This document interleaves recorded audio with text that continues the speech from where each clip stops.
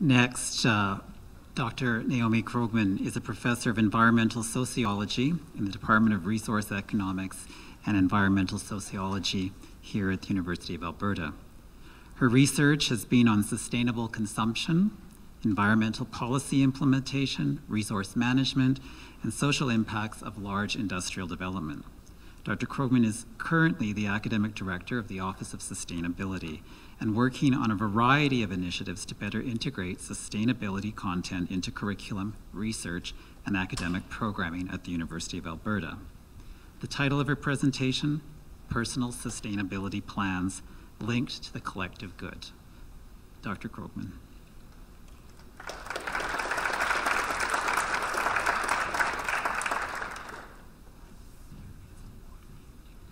Thank you.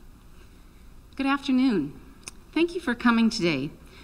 My most important message to you is that the world needs you, and I think you can do more good if you have a plan, a philosophy, an orientation to a lifetime of contributions. Do, oh, okay. I was looking for my clicker. So, this talk is inspired by the many students I have worked with who have come to me with courage and hope about how they can contribute to a more sustainable future for the planet.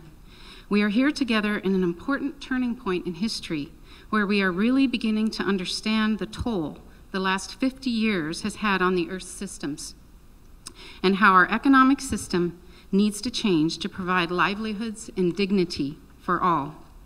I currently have the pleasure of working with the Office of Sustainability to help further our academic strengths in this area.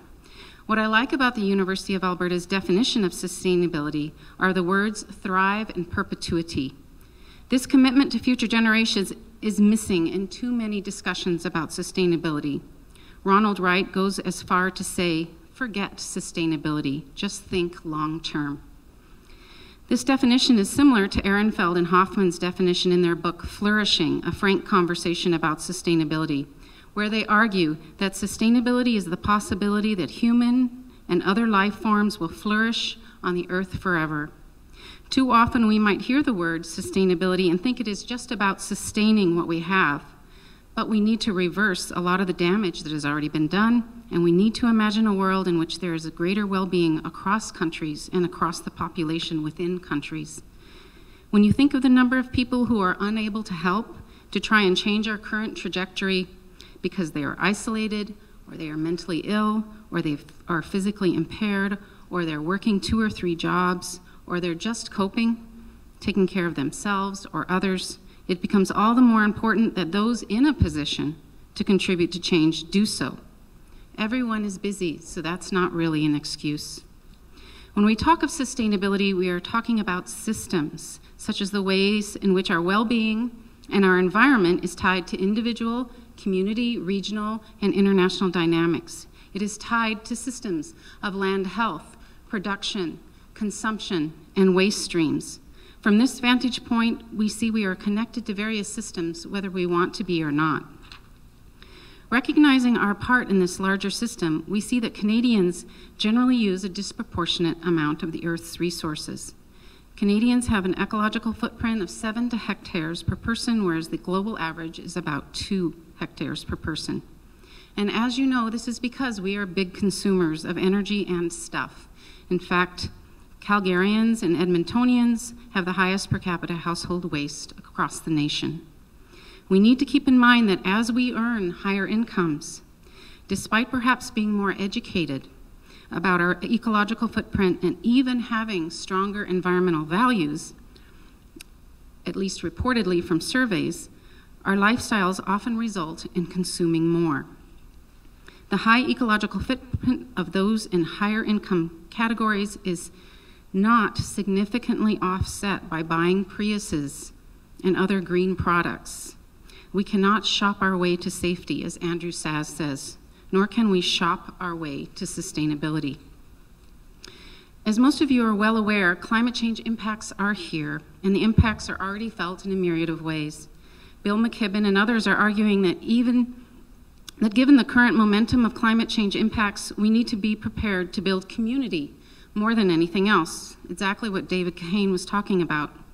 Because ultimately, We're going to have a lot of unexpected disruptions, and we're going to need each other. We're going to need each other to figure out how to recover and to change the way we live and to contribute to systemic change. Another background trend that will require, at its essence, a more sharing and cooperative approach is our ability to address worsening inequality. It is common knowledge that, about half of the world's population lives on less than $2 a day. More close to home, in 1960, the average pay after taxes for a chief executive at the largest U.S. corporations was 12 times greater than the average wage of factory workers. In 1980, the average CEO was making 42 times as much as the average blue collar worker.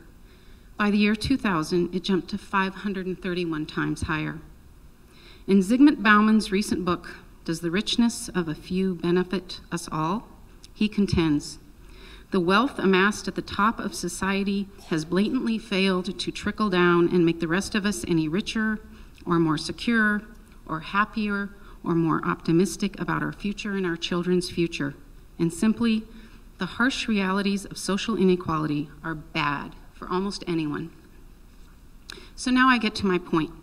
The problems of overconsumption and climate change and social inequality need our personal attention or a personal plan to roll up our sleeves and take part in social change.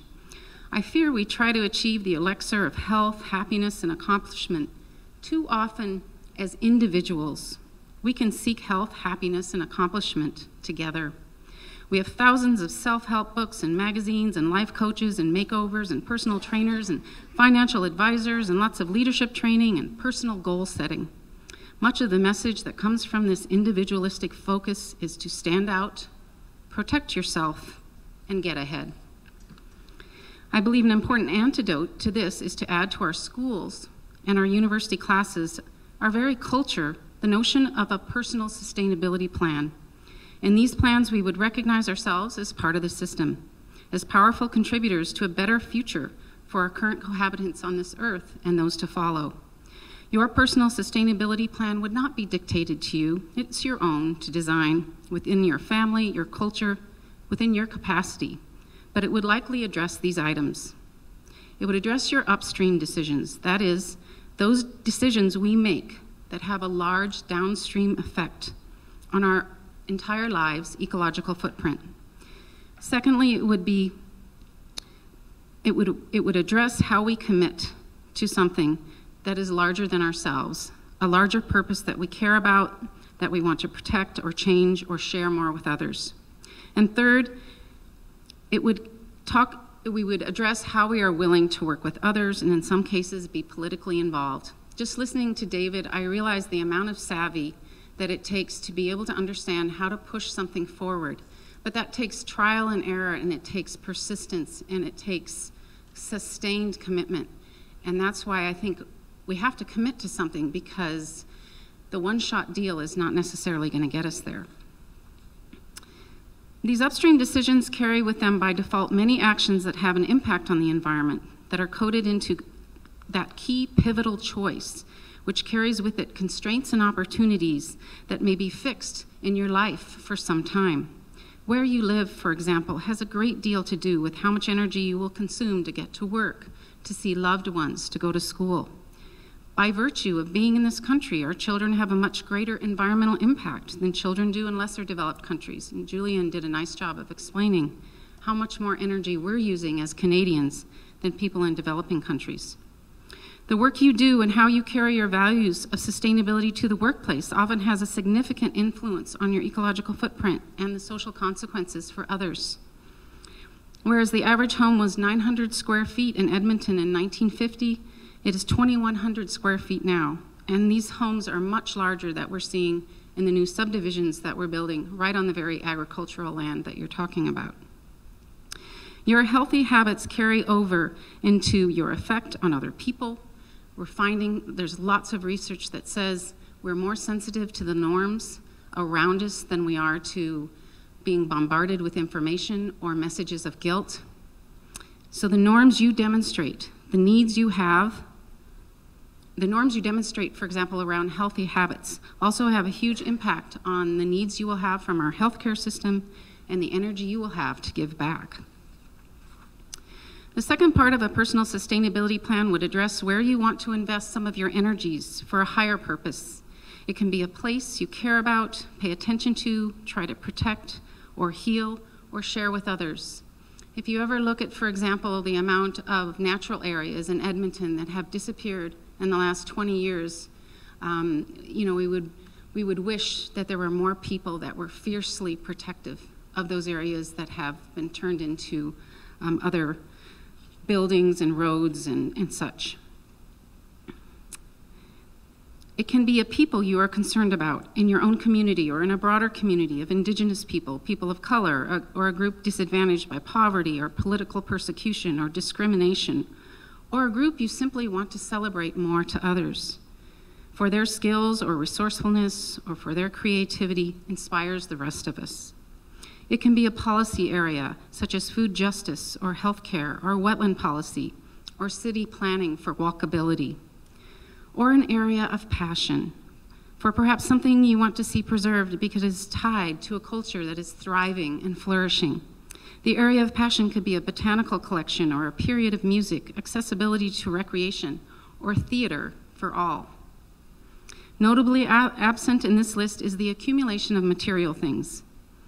Investing is all too often about investing in our financial future, but we might have actually bigger things at stake. We can do 10 things to save the environment, but where we really make a difference is where we organize with others to enhance or heal or change something that requires more voice, collective wisdom, political influence, and long term persistence to make it happen. The skills you gain by working with others can enrich your work life as well as give you the hope, the courage, and momentum to strive even when the chips are down, even when the goals seem too far off, even when others criticize or minimize what you do. The evidence from recent research is overwhelming in terms of the benefits of being connected to others, giving our time, our energy, our money to a purpose for the collective good. We are, in fact, healthier and happier when we get outside ourselves. We have so many opportunities at the University of Alberta to organize and collaborate with others for a higher purpose. And what the literature shows is that people have fun doing this, that they find themselves attending events and organizational meetings as much for the joy of friendship and learning as they do carrying out the work of the organization. These opportunities shown here are just those out of our Office of Sustainability. There are dozens of student organizations that focus on social justice and environmental collective goods, for example, that are connected with our larger community. In fact, many of these experiences help students land jobs after they graduate. Personal sustainability plans allow you to take part in sustainability in a real, authentic, personal way, where you imagine a lifetime of contributions, some of which your children will reap and you will not. You become part of long term thinking that is at the core of sustainability. You embrace the rights and responsibilities of citizenship, and you help shape political will to change the direction of our future. In your plan, you can reflect on who has influenced you in this lifetime, like my family members who took me camping and fishing and taught me about hard work on a farm Remember that being, by being the change you wish to see, you are changing the norms of others, those others around you, and you may not even know they're watching you, and they're admiring you, and they're going to copy you. Thank you.